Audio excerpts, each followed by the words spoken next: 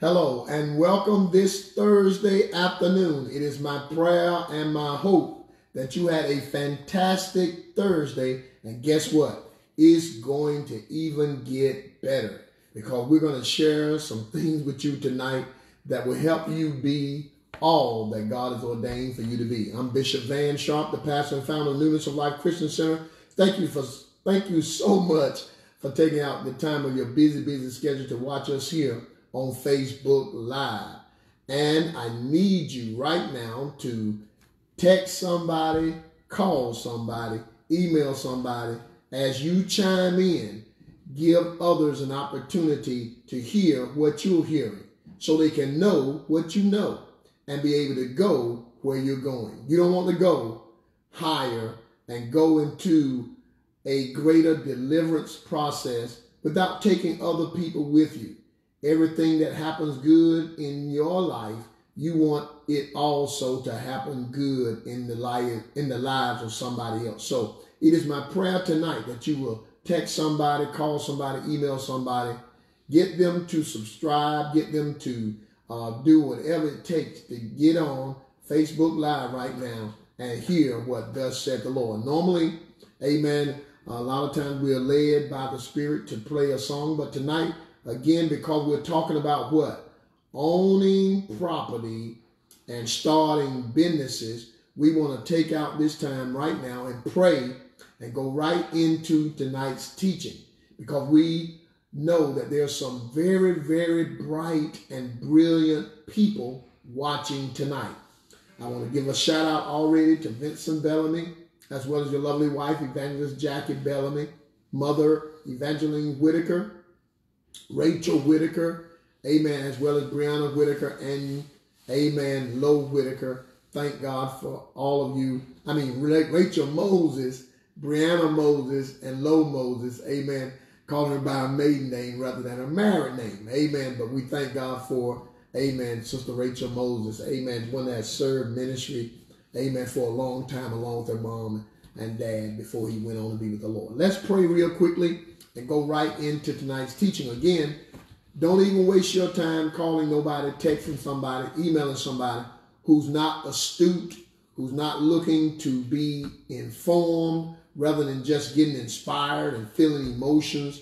We want people to be enlightened. We want their eyes of their understanding to come open. And we're going to give them some good, solid information that will help them, help them own property.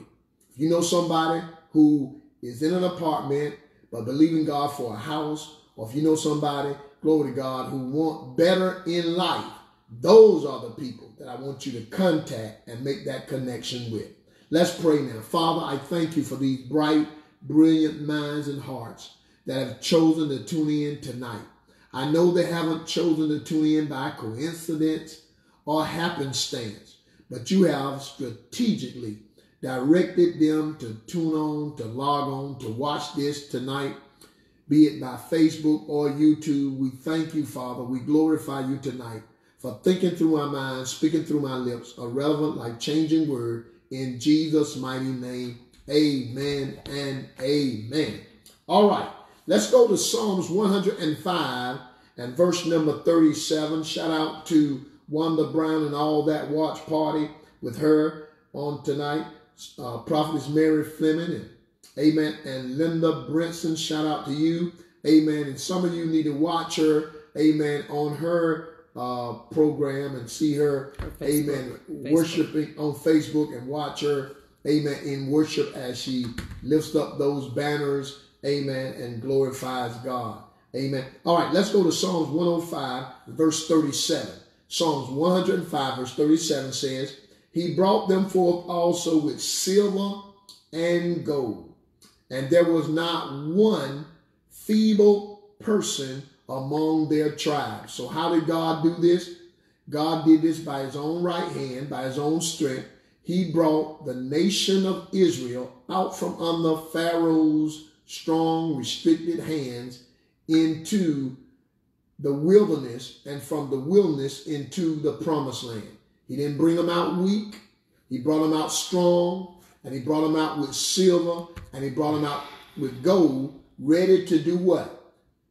come out from under the hand of Pharaoh, which was slavery and bondage, come out of Egypt, which is a place of limitation, and come into a land flowing with milk and honey. So God wanted them to inherit land, to be property owners. Every last one of those tribes, God wanted to give them some property. You know the story of Joshua and Caleb. And we know that Caleb had been given a word from God through Moses when he was in his 40s, but it didn't happen till he was 85. So 40 something years later, he reminds Joshua of the promise of some land, of owning some property. And he said, As my strength was then, so is it now. He was ready to go in and possess or take his land. I'm here to tell you, God wants you to own property and God wants you to be a business owner. Amen. Because God wants to empower us. Thank God and a special shout out and a special salute to all those NBA players that took a stand, even in this case, amen, of the black young man, amen, uh, Blake being shot seven times. Thank God, amen, that these young NBA players took a stand. All those teams decided not to play on last night and then decided not to play on tonight. And it has triggered over into the uh, in NHL as well as tennis players deciding not to play, women. as well as uh, women basketball players deciding not to play. Amen. As well as baseball players decided not to play. Why? Because we're saying we've had enough of injustices, Amen. We want what belongs to us. Black people deserve to be treated fair, and our lives do indeed matter. We need to understand that God wants to do something powerful in this hour. He wants to bring people into their more season. And every politician and every white racist or supremacist that is thinking that he or she can stand in the way will not be able to block what God is doing, especially when we put our hope our trust in God. We know that men need a new heart. They need a change of heart. And only God can change man from the inside out. That's what God wants to do. And that's what he has done for those of us who are saved, according to 2 Corinthians chapter 5, amen, and verse number 17 says, Therefore, if any man be in Christ, he is a new creature. Old things have passed away, behold, all things become new.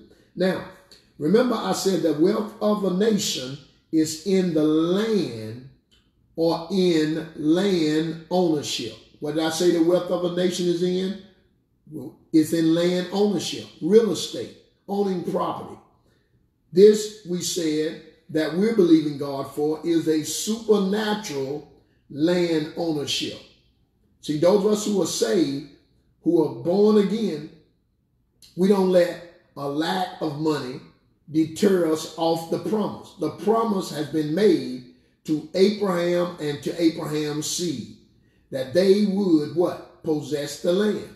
God took Abraham, took him, at that time his name was Abram, brought him out from among his country and among his kindred, and told him that he was going to give him the land, even to the great river Euphrates. All of that will be his. Amen. God blessed the man, made him a very wealthy man, and gave him property. Before, he didn't even have a place to even put his foot on. He did not own any property. But because he was chosen by God, God wanted him to own property. You, sir, you, ma'am, have been chosen by God, and God wants you to own land. He got a house with your name on it. He got a house that won't add any sorrow to your life. The Bible said the blessing of the Lord, it maketh rich and he added no sorrow with it. So there's not going to be sorrow in this house that God's going to bless you with. He's Jehovah Jireh. He's your provider. And he wants to give you things that you will have to glorify him for. He said, I give you houses you did not build. I give you wells you did not dig. He says, all nations will call you blessed. You meditate on it. It's in Deuteronomy, the 28th chapter. Now let's go further. We said we just don't want to be own, O-N, the land, but we want to own, O-W-N, the land. Now we said you must guard your heart by keeping positive affirmations in your heart and your mind. All right, let's go to Judges chapter 1, verses 1 through 4. Judges chapter 1, verses 1 through 4. Shout out to Yvette Wheeler on tonight. Good to know you're tuning in and watching this. This is for serious people. This is for people who just don't want to walk and talk with the status quo. It's for people who understand there's more to me and you than meets the eye. That God got some big stuff in store for us. Shout out to Elder Marvin White. Good elder. Good to know you're watching, sir. Amen. Amen. And uh, I know you you you're a LeBron James fan and the Lakers and all that. Amen. But thank God for the stand that these these athletes have taken to not play. Amen. Because this is a serious, more weightier matter when a man is shot seven times in his back. That's some serious stuff. Amen. And I know Elder White knows that. Amen. Shout out to Deborah Taylor on tonight. Amen. As well as Melody Hatchell. Good to know you all are watching. Now let's go to Judges chapter 1, verses 1 through 4. And it says, Now after the death of Joshua, it came to pass. Joshua is dead now. Moses already died. Joshua is dead now. That the children of Israel asked the Lord, saying, Who shall go up for us against the Canaanites first, to fight against them? And the Lord said, Judah which means praise, Judah shall go up. Behold, I have delivered the land into, watch this, his hand. This is Judges chapter 1, verse 2. Please make a note of this verse. It said, I have delivered the land into his hands. So the land has been delivered into the hands of praise. Watch this. And Judah said unto Simeon, his brother, Come up with me into my lot that we may fight against the Canaanites. And I will likewise would and I likewise would go with thee into thy lot. So Simeon went with him, and Judah went up, and the Lord delivered the Canaanites and the Perizzites into their hand, and they slew them in Bezek ten thousand men.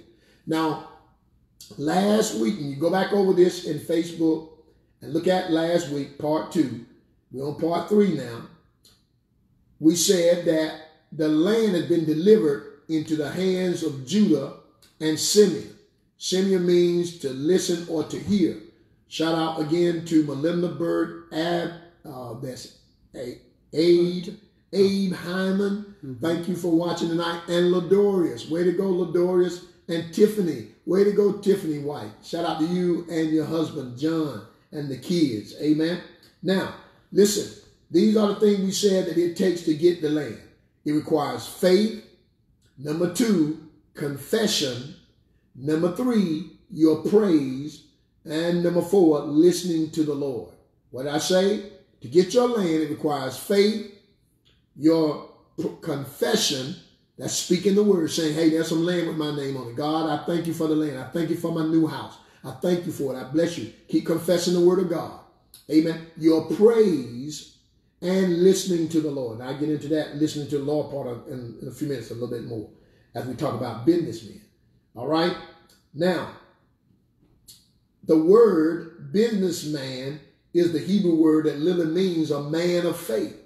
So when we talk about owning property and starting businesses, what are we saying? To be a businessman, take being what? A man of faith. So every time when somebody say, are you a businessman? You ought to say, yes, I'm a man of faith. I believe God. I believe what I cannot see to be my reality. I walk by faith and not by sight. The just shall live by his faith. Now listen, all of this, all of this about you getting your land and starting your business is based on God's favor. It's based on the favor of God. Somebody says, how you going to get the land? Because God going to favor me. I have favor with God. I'm born again.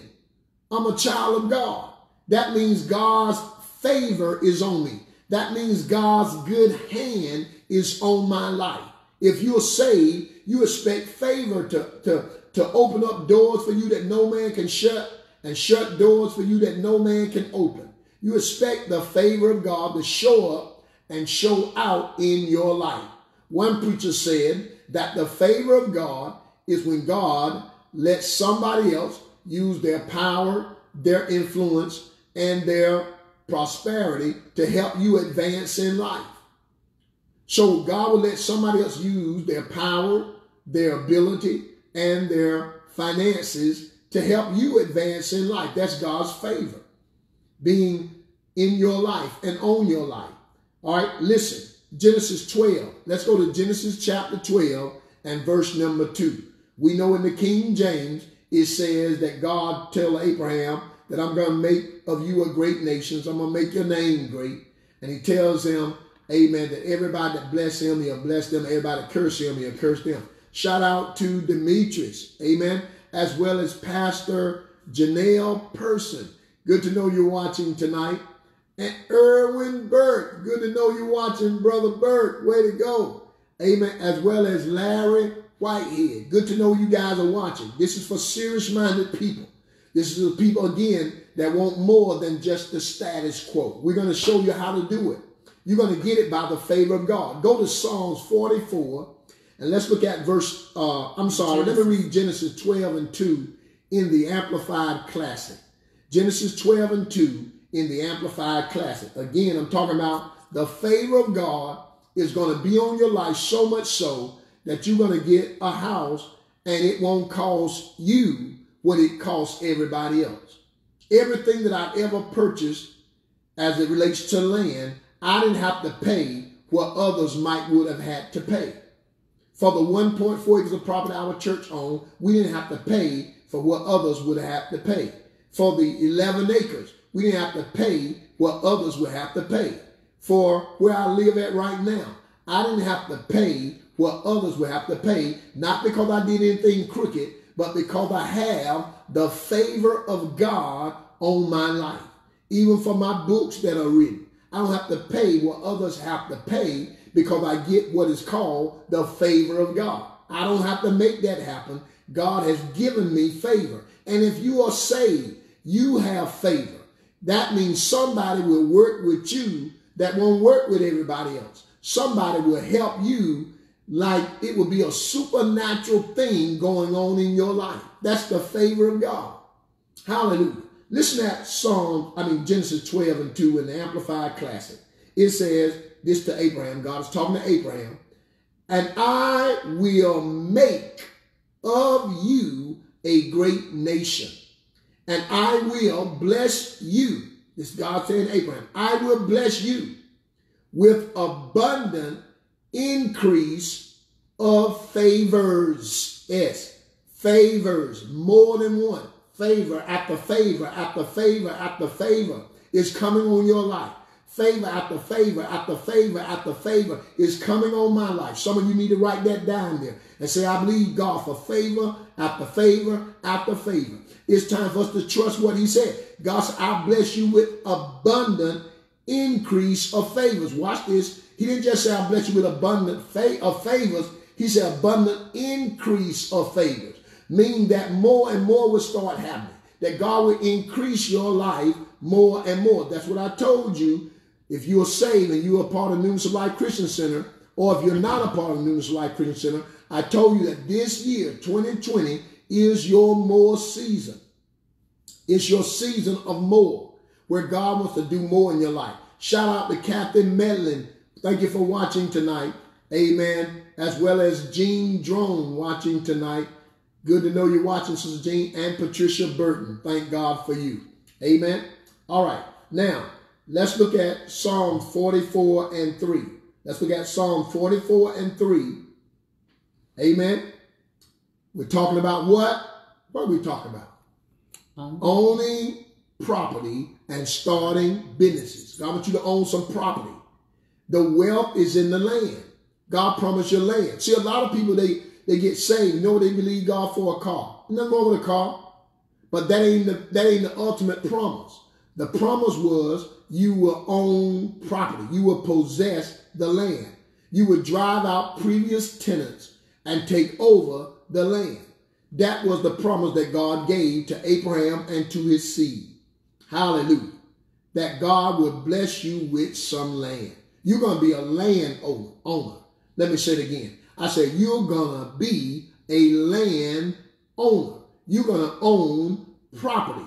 you are going to sign that deed to that house. And you're going to get that house. You're going to pay that house off. And if you want another one, you're going to get another one. Amen. Because maybe you want two, one for your child or one for somebody else. Amen. He said, I'll give you houses. Amen. God, God, God, listen at me. If these sinners who don't know God, who don't love God, who don't even want to serve God can have it, why shouldn't we, who say we are heirs of God and joint heirs with Christ, have it? See, one of the things that Facebook Live is causing a lot of people to do is having to sit down and think. Amen. See, because a lot of entertainment is old. Amen. A lot of movies, amen, just now they just beginning to come out with a few, but a lot of them was old. So that entertainment stuff is over. God trying to show you something in the spirit. That it's not just about being entertained by a preacher. It's about being informed by a preacher. It's about him teaching you something, allowing you to apply that information and receive the best in life. Hallelujah. Now watch this. Psalm 44 and 3. Listen at what it said. For they got not the land in possession by their own sword. So they didn't get the land by their own sword. Neither did their own arm save them. But thy right hand, talking about God, God's right hand, and thine arm, God's arm, and the light of thy countenance, God causing his face to shine on you and I, because thou hast a favor unto them. You see why they got the land? Why did they get the land? Not by their sword, not by their own strength, but because God gave them favor. Now, did they have to fight against the, the, the Canaanites? Yes. Did they have to fight against the Perizzites? Yes. But who helped them win the battle? Who helped them take the land? God did because God favored them. And again, they got it because they set up Judah. They set up praise. They walked in faith. They confessed the word. They praised God and they had to listen at God's voice. All right. Now listen, I told you last time, one out of every 35 white persons own or has a business. One out of every 35. One out of every 53 Hispanic persons own or have a business. But here's the bad uh, statistic. Only one out of every 105 black people owns or has a business. Amen. Did you see what I just said? One out of every 105. Amen. And think about it. Who get all a lot of tax breaks? Business people. Amen. Especially if their business become very, very successful. Amen. What was Donald Trump before he became the president? A business person. And he's for businesses. Amen. And we have to understand that God wants you to own property and start businesses. Again, now, I'm not telling you to quit your job and start a business without knowing that that business can be successful. You and I can maintain our job and start a business. Amen. In other words, doing something that you know is bringing in consistent income. That's your job. But at the same time, looking forward to starting your own business. Amen. Doing that like part time. Did you not know Daymond John? Daymond John. Some of you know him. He's uh, one of the sharks on Shark Tank. Daymond John ran FUBU while still working at Red Lobster. The man was working at Red Lobster, but was running FUBU. Now, eventually, we know FUBU blew up, and all his other business has, has, has blown up, and now he's a shark on Shark Tank. But while he was working FUBU, he didn't quit his job at Red Lobster. Amen. He waited and watched and see what the business was doing. And that's how you can do. You can be wise. Amen. In this. Because God wants you to what? Own property and start business. All right? Listen. Proverbs 24, 33, and 34 in the Passion Translation. Proverbs 24, 33, and 34 in the Passion Translation says, professional work habits professional work habits. And a lot of us learn professional work habits, first of all, by working for somebody else. Now, the same way you punch a clock, the same way you get up, the same way you do things for working for another man, why in the world do you think when you get your business that you're supposed to be lazy? That's what a lot of people want to start a business for. They think, well, I don't have to work for them people no more. I don't work for them, them people no more. They won't be able to tell me what to do. And then you want to be lazy and your business ends up failing. Because why? When you are working for another man, it is to help you develop work habits. There's a time you got to be there on time and punctual. Amen. My wife can tell you I was never late for my job. That's why I don't like being late for church and late, late, because it's about being professional. Amen. If you're going to deal with business, a lot of business people, they will not respect you if you're not punctual. Amen. We had, had some business to take care of the day at my at my house. And the main thing I told the man was a time. Amen. And then I had to change the time because something else I had to do in business. We're trying to get this other book out and have to talk to the publisher and, and printer about that. Amen. So that pushed my time back. But he was running late anyway, but we was able to get that time straightened out. Yesterday I had to go down no, this was this morning, wasn't it? Yeah, mm-hmm. early this morning. I told the gentleman that I had to take care of some business with. I'm going to be there by 9 o'clock. Do not be late. Amen. Elder White, he can verify this. I, I know him and Deacon Gas, and I can verify this. Amen. I showed up one time to take care of some business at our local church, and the person who came out there to do the work for the church ended up giving me a hundred dollars gave me a hundred dollars. Said, I just want to give a hundred dollars to your ministry. Why? Because you came on time. See, people can be so used to other people being late that they think you're to be late. And you need to show them that you got professional work habits. Listen at me now.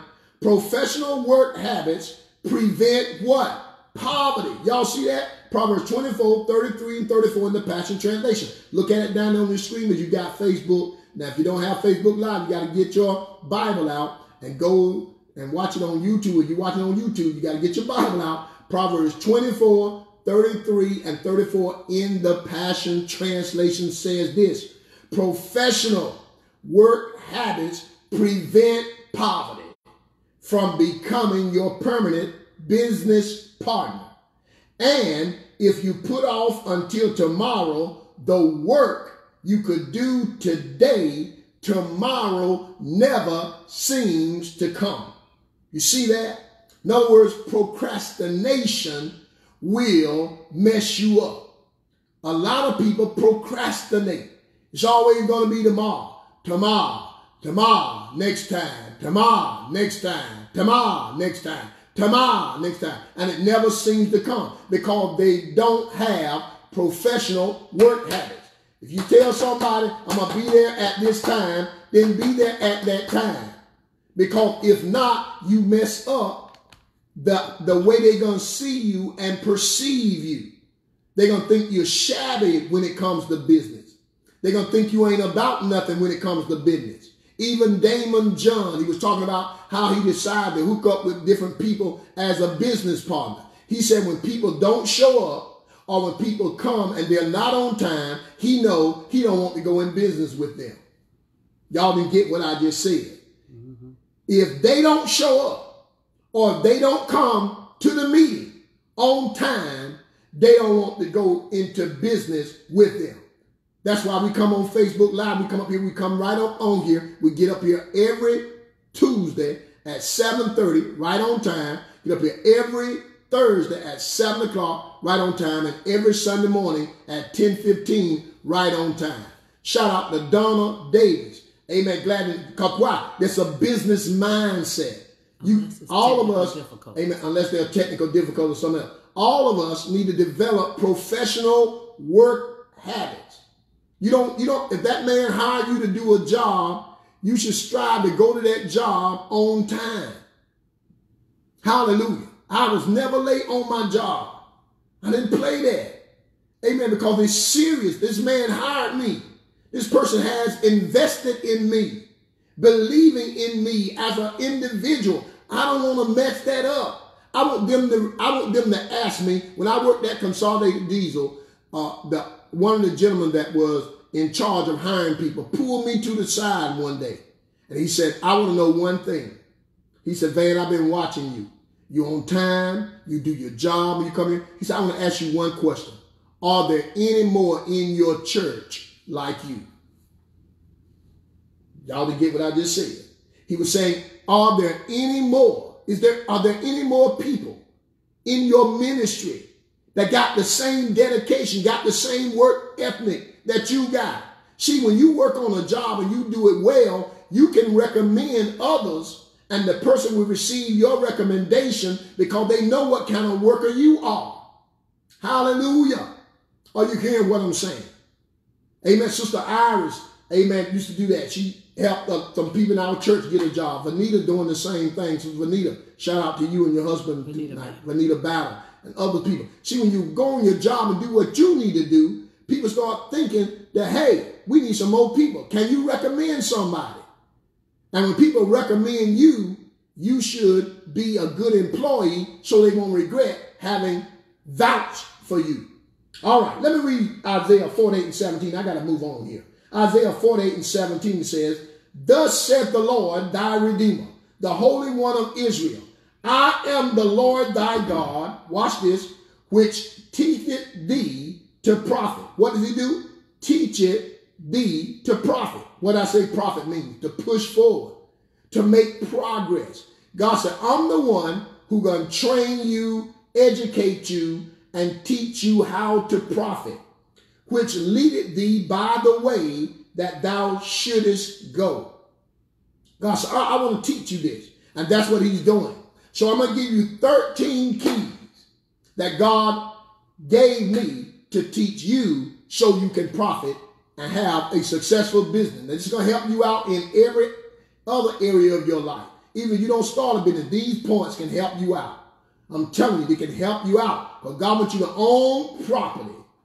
And God shall take over. But I feel this so strong. God wants you to own property, sir. Own property, ma'am. And God wants you to be a successful business person. All right?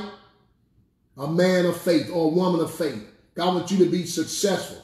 He wants whatever your hands touch to prosper, to move forward, to push forward. Hallelujah. All right. Now let's look at 13 keys to successful business. Number one, the first key to successful business is God's voice. Do not try to start a business without hearing from God. You must hear God's voice. Because if God tell you to do something and you step out and do it, it will not fail. Don't do it because somebody else tried it and they look successful at it. Somebody else tried this and they made a lot of money at it. That ain't why you do it. You hear God's voice. Tell God, God, you want me to start a business? And he'll say, yeah. Give you the name of it. Amen. Give you the strategy in it. Hearing God's voice is key. Listen at Deuteronomy 28 verses 1 and 2. Deuteronomy 28 verses 1 and 2. And it shall come to pass, if thou shalt hearken diligently unto the voice of the Lord thy God. You listen to the voice of the Lord thy God to observe and to do all his commandments, which I command thee this day, that the Lord thy God will set thee on high above all nations of the earth, and all these blessings shall come on thee and overtake thee if thou shalt hearken unto the voice of the Lord thy God. See, God will speak to you. Amen. See, one of the reasons why I've never been afraid of God providing for me once I left CDC was because God told me to come off the job. If God hadn't told me to come off that job and go into full-time ministry, I wouldn't have done it. Amen. Now I know everybody that even if you work a job and you're trying to pastor, you in full-time ministry. But I'm talking about, amen, just like Jesus told the disciples that were fishermen to come and follow him. That's what he did with me. I was at CDC. I had just been given an opportunity to get a raise. I was excited about my raise in my car, ready to go home and tell my wife about the raise. The Lord said, Van, I said, what? I want you to come off your job. So wait a minute, wait a minute. No, the devil is a lie. The devil talking to me. Amen. Make a long story short, God said, now it's me talking to you. I want you to come off the job in six months. I went home, told my wife, amen, and the rest is history. Make a long story short, God prompted me because why? He told me to do it. I didn't do it because somebody else did it. I did it because God told me to do it. Same thing I told my brother. I told my brother, I said, I said, man, you don't want to go into full-time ministry, come off your job based on how many people in the church, because people will come and they go. People get up disgruntled, some upset them, and they leave the church. But I wanted him to understand the voice of God was the key. All right, now let me go to Isaiah 48 and 18. Isaiah 48 and 18 says, Oh, that thou hast hearkened to my commandments, then had they peace been as a river, and thy righteousness as the waves of the sea. Again, God is telling you, if you had hearkened to my commandments, you would have walked in the peace as a river, the righteousness as the waves of the sea. Now listen at this. The mysteries of God are hidden in Christ. The mysteries of God hidden in Christ are the most valuable, precious, and powerful things in the earth. What did I just say? The mysteries of God hidden in Christ are the most valuable, precious, and powerful things on the earth. The general will of God, the general will of God, we know by the written word. See, the written word that we read on the in the Bible, that's how we know the general will, the general will of God. But the specific will of God, we can only know, and we know by the voice of the Holy Spirit. See, God specifically said to me, Van, I want you to come off your job, go full-time ministry and preach my gospel. See, that's specific. Like when God spoke to Abraham, and told him even in his old age, he and Sarah gonna have a child. That's specific. That ain't for everybody. But God saying, in multiplying, I'll multiply you, and blessing, I'm gonna bless you. That's for us who are saved. That's in the written word of God. But the specific word of God came to Abraham that he and Sarah were gonna have a child in their old age. The voice of God helps us find out the specific will of God. Hallelujah. See, God can, you can be riding in a, neighborhood. That's why I told you, if you want to own a house, go into some neighborhoods and everything else, and God may speak to you there and say, that's your house. That's yours. That belongs to you right there. Glory to God. Hallelujah. Thank you, Jesus. Or God may specifically speak to you and say, that building right there, that's yours to start a business. I want you to start a business right there in that building. That's your property. Glory to God. Hallelujah. That's how God works. He speaks specifically to us, and we must hearken to the voice of God. Shout out Linda Walston, as well as Sylvia Foreman, Teresa Johnson. Shout out to you and Minnie Bullock. All right, now, let, listen. John 14 and 26. Listen at John, St. John, the 14th chapter, verse 26. It says, but the Comforter, which is the Holy Ghost, whom the Father will send in my name. He, talking about the Holy Spirit, shall teach you all things and bring all things to your remembrance, whatsoever I have said unto you. So the Holy Spirit will speak to us, bring things to our remembrance so you might just be walking around one day, and all of a sudden you say, wait a minute, Pastor said, Bishop Van Sharpe said, it's time for me to own my own property. Amen. That's my house right there. See, in other words, it's important that we understand that the first key to successful businesses or successful business is God's voice. Number two, the second key to successful business is demand. You never want to go into any business with a product where there is no demand for it. You got to understand. Dan Lok, who is one of the highest paid and in demand consultants in the real estate business, that's who he is, Dan Lok and Dan Lok said this, one win in business can make up for all your losses. So you want to win in business. You're not going to be in business, amen, very long if you are trying to offer people something where there is no demand. You must find a field in which there is a tremendous need for what you do. Let me say it again. You must find a field in which there is a tremendous need for what you do. For example, you were the you are a dentist, amen. You could probably very easily start a dentist business. Why? Because there's a need for people to take care of their teeth. Or if you were a person that uh, uh, did like uh, what what's the lady name? Amen. I can't think of the hair. Uh-uh, that works uh, to take care of your doctor. Chiropractor. The doctor. No. Oh. Uh, yeah, I can't think of her name right now.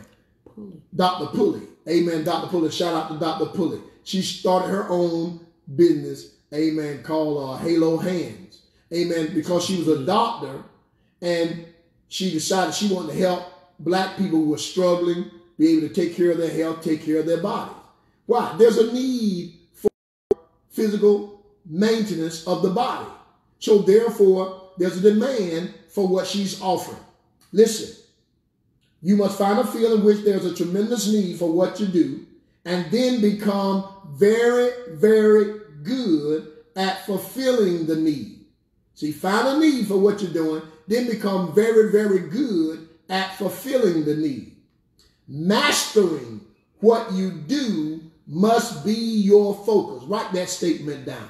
Mastering what you do must be your focus. In other words, you're a mechanic you don't want to be just somebody out here doing it. You want to be the best at it. You want to be so good that people start recommending you to work on their car because they know how good you are, which would create what? A demand for what you're doing. And then that demand becomes so great, amen, that, hey, you're going to succeed. Because why? To succeed in business, there must be a demand. The reason why, glory to God, I wrote books because God told me to do it.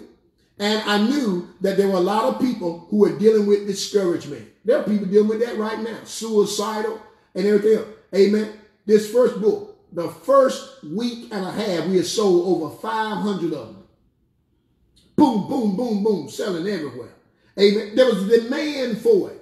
That's why I listen at what God tell me to write. Amen. Our book, uh, latest book, you need this right here, just came out called Long Distance Runner, running to receive the prize. Let me tell you something. There's a demand for this book. People already demanding it. We probably have to do another reorder real soon. Amen. Why? Because there's been a demand for it. Amen. And the other one we got coming out that'll be out, amen, within the next uh, few weeks or so. Amen. It's called Death, a Need to Understand, because so many people don't understand what death is all about. I listen to the Holy Spirit and then you have to understand there must be a demand. There must be a demand. If, if there's nobody buy the books, all you got, I don't need to keep writing them. But there's a demand. People bump into me all the time. My wife can tell you. They said, man, Bishop Sharpe, when you going to write another book? They ready to read it. I ain't even wrote it yet. They ready to read it. Why? Because there's a demand. Watch this now. Mastering what you do must be your focus. You got to be good at what you do. The money will be the reward. See, the money is the reward of you mastering what you do. When you master what you do, you become very, very good. I'll talk about that. That's another business point. Listen, remember, if there is no demand for you or the product, you are destined to fail. Let me say what I just said. Remember, if there's no demand for you or the product, you're destined to fail. You know why Popeyes keep on making that chicken sandwich? Because there's a demand for it. there was no demand for it. You ain't got to worry about it. They ain't going to make no more Amen. But there's a demand for that chicken sandwich. Listen, business functions and operate by supply and demand. There's a supply that you have and there's a demand for that supply. It has been said, what you like should be your hobby. What the world likes should be your business. Let me say it again. What you like should just be your hobby. But what the world like should be your business. In other words, you should have something that the world want to take on and get it. Victor Hugo, Victor Hugo said, all the forces in the world are not so powerful as an idea whose time has come. See, sometimes you can have an idea, but it ain't time yet. See, there's a book I'm working on right now to ministers. It just ain't time yet. Now, people already demand it. Even my brother told me the other day, he said, man, I'm glad about this book. He said, when you going to write that book on ministers? It ain't the time yet. When it's time, it'll come out. Amen. My wife gave me that relaxation in that years ago when I first was writing my book. She said, look, take your time, relax. Amen. When it's time, it'll be out. Don't, don't worry about it. Amen. And it, it was just, it was the Lord speaking through her. Amen. You understand? Amen. Listen, all the forces of the world are not so powerful as an idea whose time has come. Sometimes you can have an idea that's not time. You got to just put it on the shelf. It's for another time. It's for another season. Amen. Because there's going to be a demand for it later. Y'all know that. Amen. With Shark Tank. You see Shark Tank? Those sharks got the money. And people come there and they say, no, uh, da, da, da, I'm out.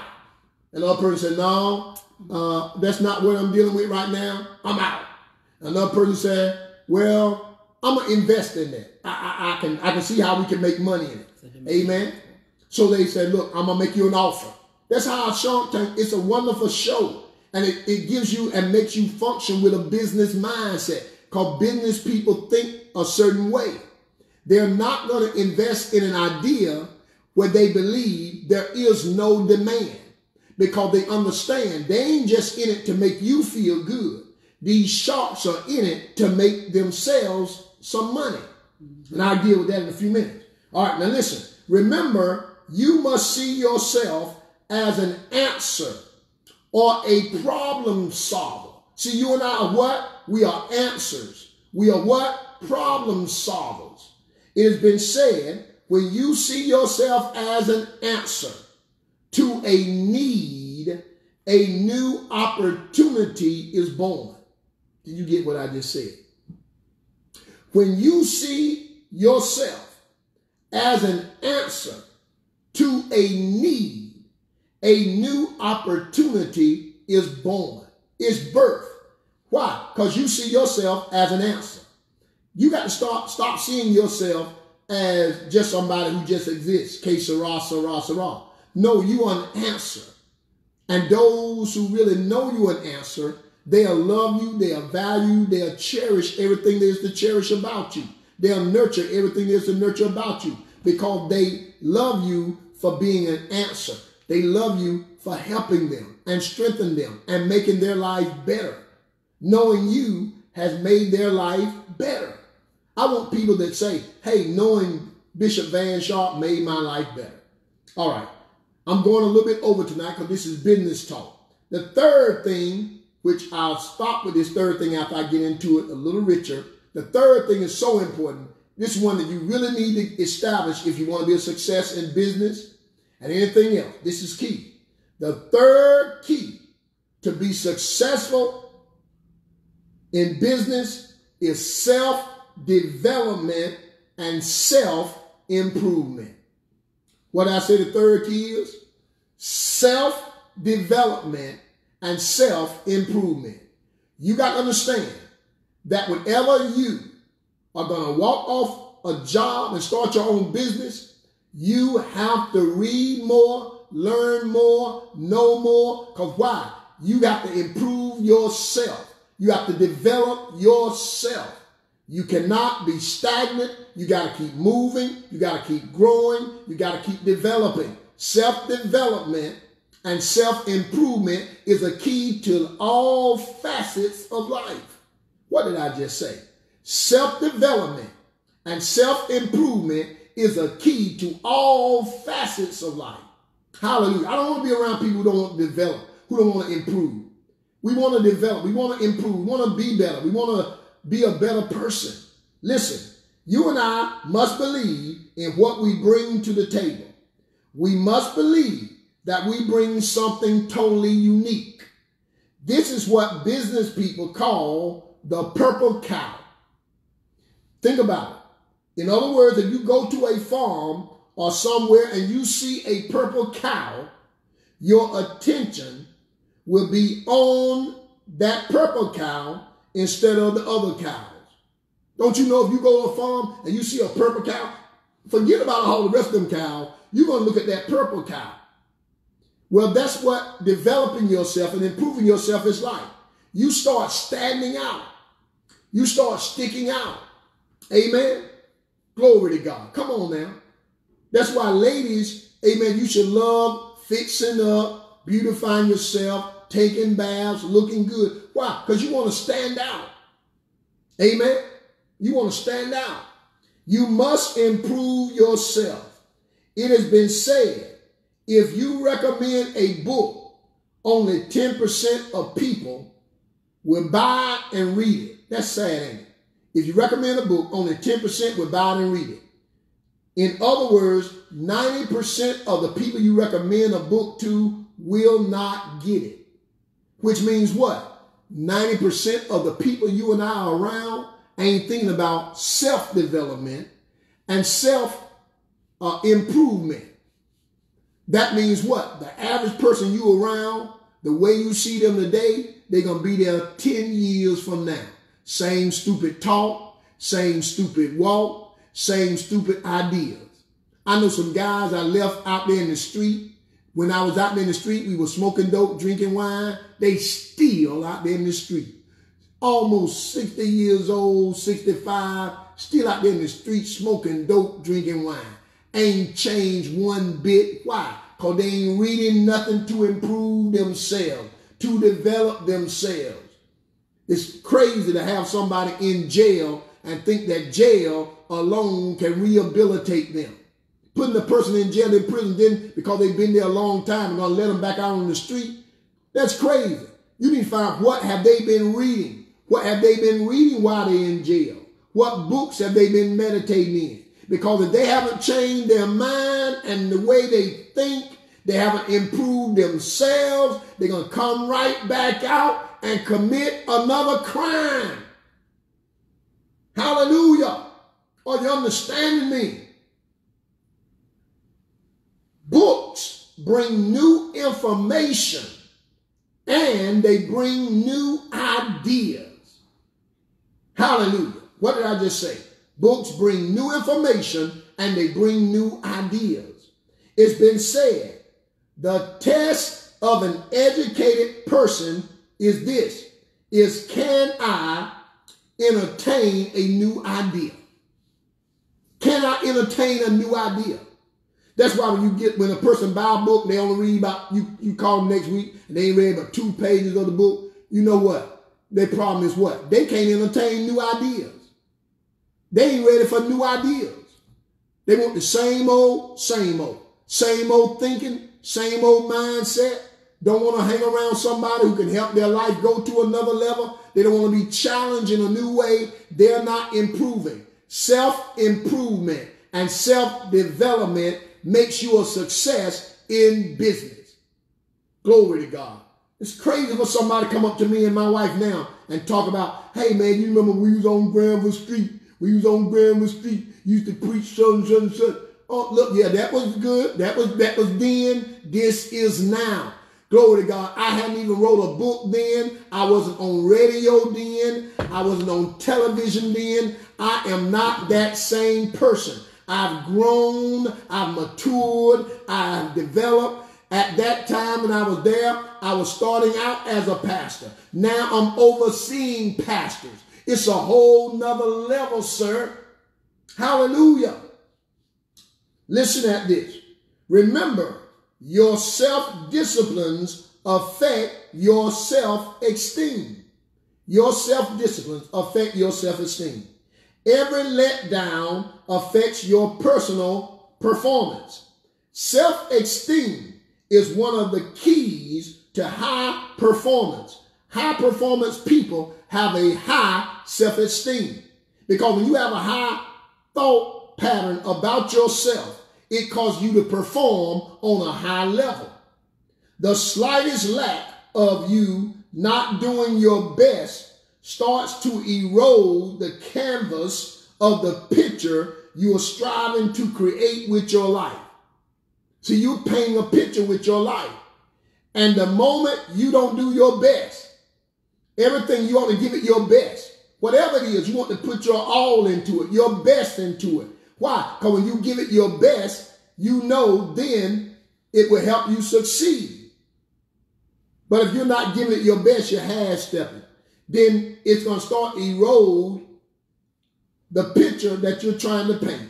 I'm about out of time, but I'm going to say this part with you, and I'm going to give you this, and I'll stop. I'll stop. I got to stop. I'll just stop right there. I'll just stop right there. All right, all right. You and I, okay, I can go with this. You and I must have the right skills.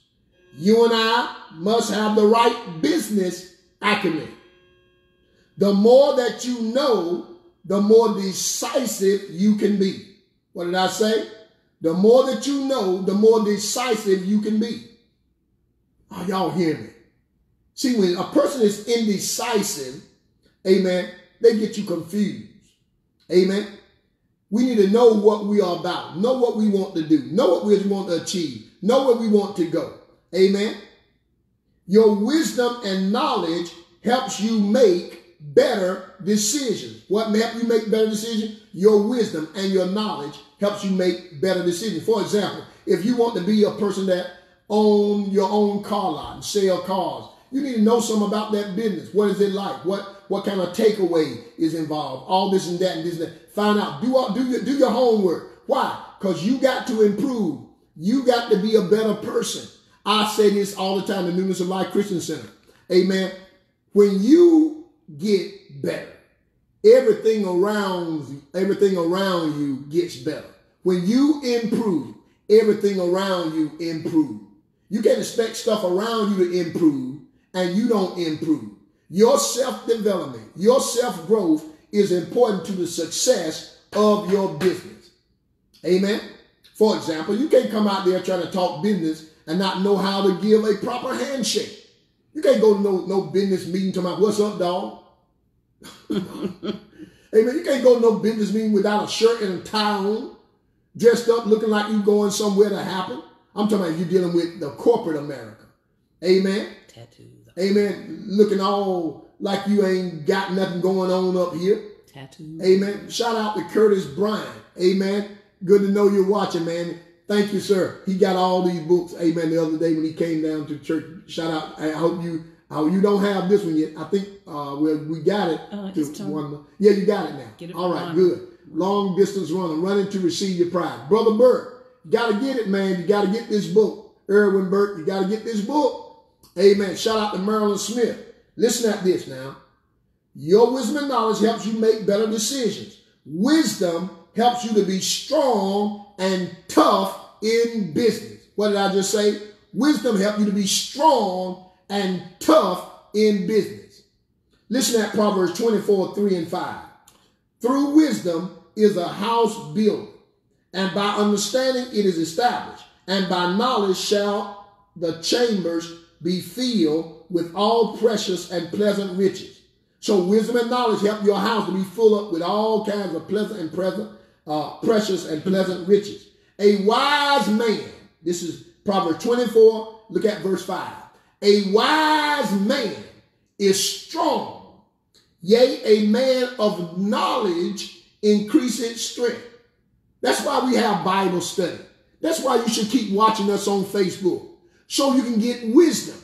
Wisdom makes you strong. So you can get knowledge. Knowledge helps you increase in strength.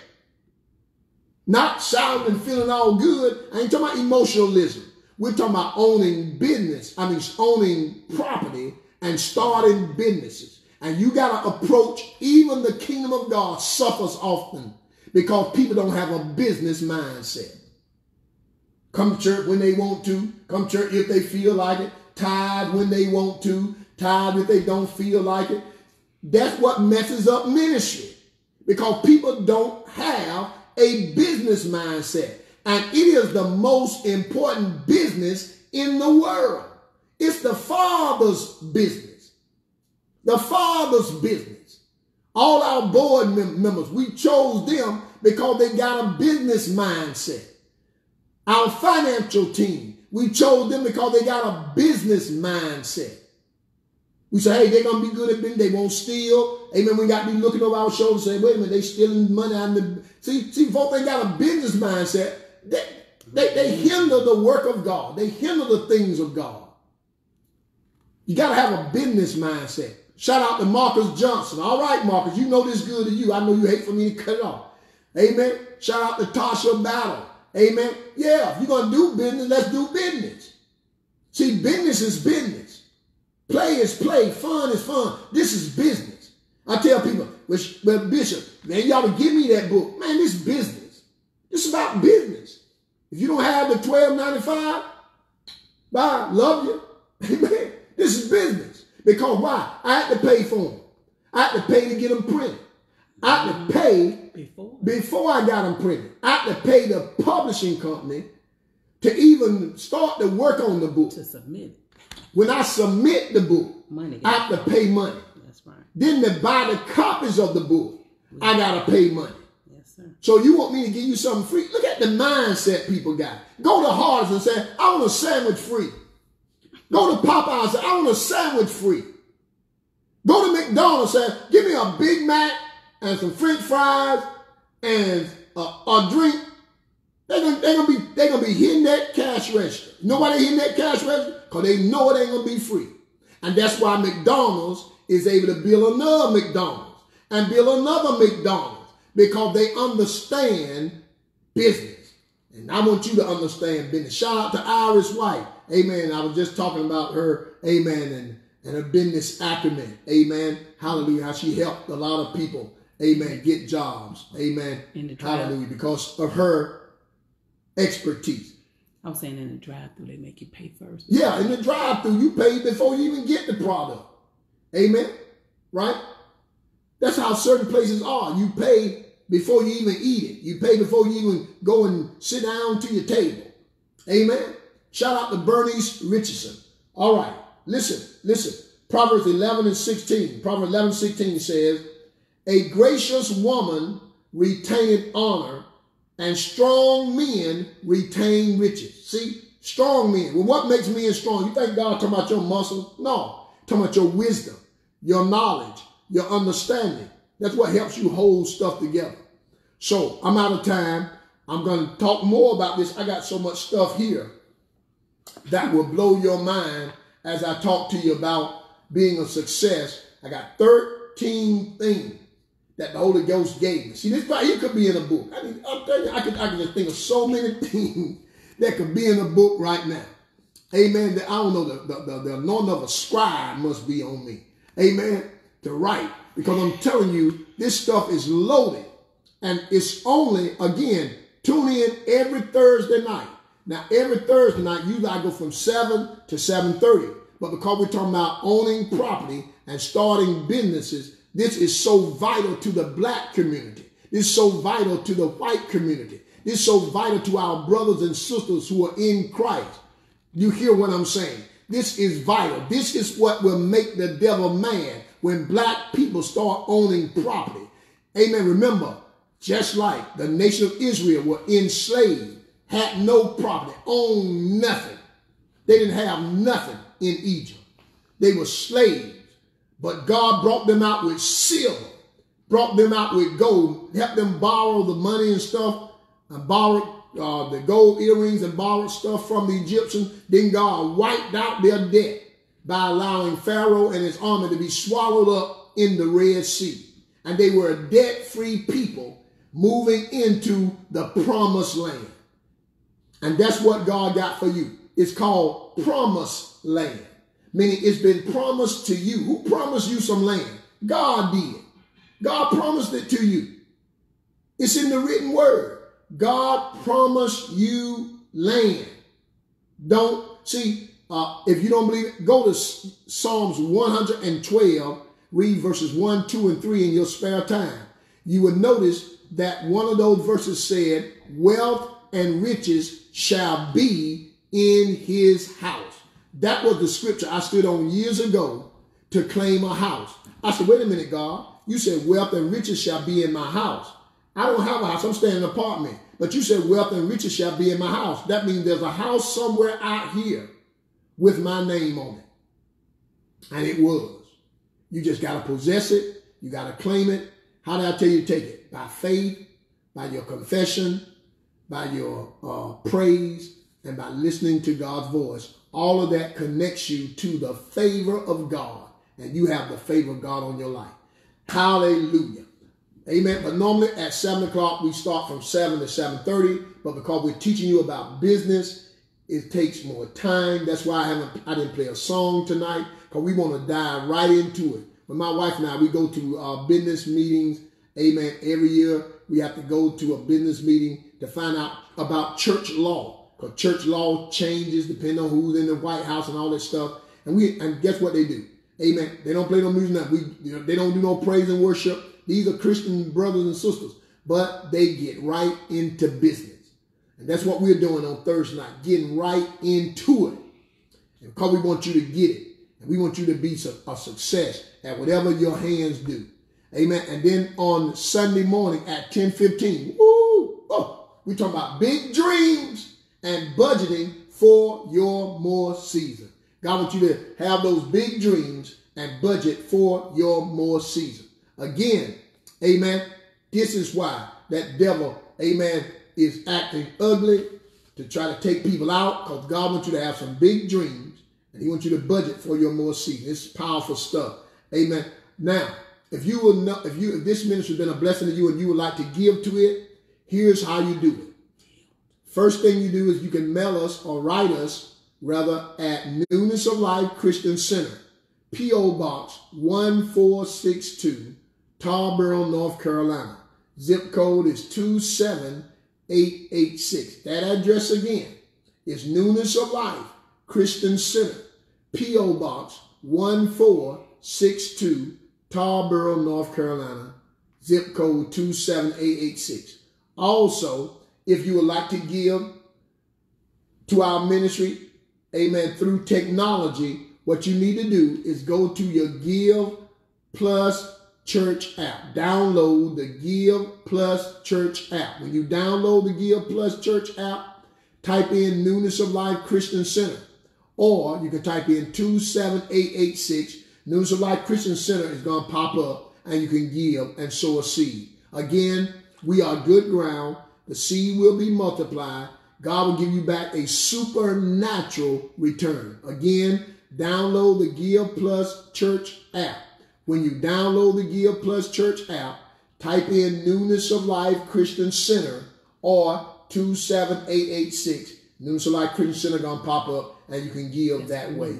And that's totally to ministry. That is for the advancement of ministry. And again, if you don't know anything about our ministry, we're on several TV stations and we're on, I mean, every day. And then we're on some, amen, three and four times a week. It costs money to do it, but we're doing it. And it's been a blessing to people, mm. especially during this pandemic when we're not back in our local assembly yet. Facebook Live, YouTube have been a blessing, but there are other people in our local assembly that are a little bit older, they watch us on television, they get that word, and, and they're able. Radio. Uh, and plus, we on radio. We're on several radio stations as well. They cost money to be on them, and so your money, not one dime, not one penny, will be used. Amen. In for anything other than the advancement of the ministry. Won't go. None of that goes to my wife and I.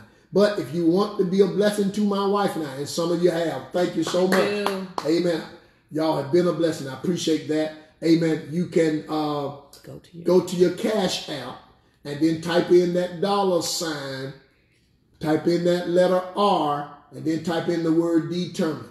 D E T E R M I N E D. It's down there at the bottom of your screen. The dollar sign, the letter R, and the word determined. D E T E R M I N E D. In fact, we have a CD called Determined. It's a good CD. If you don't have our music project, get it. Listen at it in your house, listen at it in your car, listen at it as you drive. Amen. You need to listen at it before they come out with another one songs have already been written. We just got to get together with the singers and sing it and put it out, amen, in wax, amen, so you can have it on a CD. Amen. Thank you, NOLCC, for your faithful giving. Thank you for understanding business. Amen. Thank you for making sure that we are not shut down, that we're able to move forward. A lot of local assemblies, amen, are shutting down, but we are still moving forward because we understand that this pandemic is not forever. It's a temporary situation. We did a whole teaching on that. You can go on Facebook or, uh, or YouTube and listen at that. We talked about a new temple, not a new normal, but a new temple. It's a temporary situation. Also, if you'd like to order our latest book, here it is. It's called Long Distance Runner, Running to Receive the Prize. Listen at me. Don't just read good books and not tell others about them. Listen, you need to read this book called Long Distance Runner, Running to Receive the Prize. Call us at 252 641 0098. 252 641 0098. You know, they used to say a long time ago if you want to keep something from a black person, put it in a book. Well, this is a new day. You need to rise up and tell that devil he is a lie. I'm going to improve. Listen at this part. Catch this. Did you not know one of the most expensive things you have to buy when you go to college are your books? Your books are $200, $300 per semester. I didn't say per year, per semester. Every semester, you got to buy books. And those books are not cheap. Why? Because they want you to invest in your mind, invest in your growth, invest in your learning. $13, $12.95. You spend that as soon as you walk in Olive Gardens. You spend that as soon as you walk in Red Lobster. You spend that as soon as you walk. You're going to spend that and more if you go to Ruth Chris. Oh my goodness. My goodness. You spend that easily when you go to a movie. Why not invest in your mind? That popcorn is going to be gone. You're going to poo-poo that out. But the book is knowledge and information that you can have for a lifetime. Hallelujah. And you can also get our latest book to women. Women, come on, serious minded women. Get this book called Women of Substance, Taking New Steps to New Dimensions. This book is radical. This book will change your life. If you're a woman, get it, read it, read it again if you're a woman. Don't read it just one time. Get it out, read it again. It's like the Bible. In fact, it gives you a lot of scripture and, connect you, amen, in many, many ways. It's a powerful book. And then a lot of people are discouraged. They're, they're going through depression. They, they, they really getting down by this pandemic. Amen. Listen, you can encourage them with this little $4 book. This little $4 book. Yeah, $4. dollars mm-hmm. $4 book called How to Overpower Discouragement. You can help them with this book. And you can get your help with this book. It's a tremendous little $4 book, just $4. Amen. That can be a blessing to you. In fact, we've given away a lot of them to be a blessing to people. Amen. And a lot of our other books we've given away to just help people. Listen, I Am My Brother's Keeper is a book for men, empowering men to take their place. If you're serious about being a man and walking in your manhood, you need this book. It's only $10. It can be a blessing to you. Amen. It's only, a, let me see, it's about, uh, it's some good book, good information here that can be a blessing to you. Amen. Talking about mighty men of valor, how to be a mighty man, four things to help your brother out. Amen.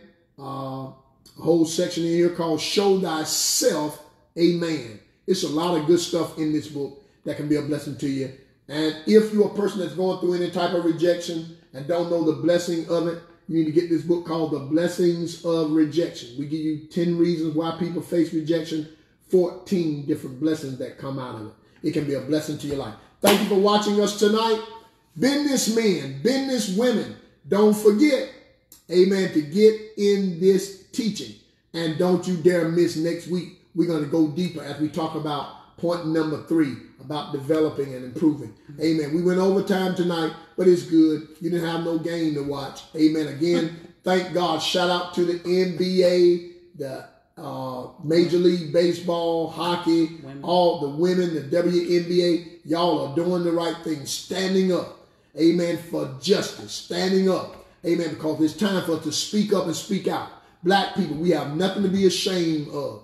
We are black and we did not make ourselves this color. God made us beautiful, and we are fearfully and we are wonderfully made. And it's time to hold people accountable, as uh, what's his name, John Lewis said.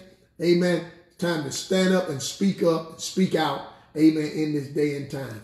Amen. That's right. He talked about that, and I believe it's in this time that we do that. So let us make let us make a difference. Tell somebody about the books so they can get it. Come on, Newness of Life. Speak up about this book. Tell your family members. Tell them about long distance runner running to receive the prize. We want the prize. Let's go for it in the name of Jesus. Also, uh, don't forget if you miss it, you can go back over and watch this on Facebook Live as well as on YouTube. You can be blessed by it. Again, next week, same time, same station, same same place, brother, on Facebook Live each and every Thursday. We're talking about owning property. Go get your land.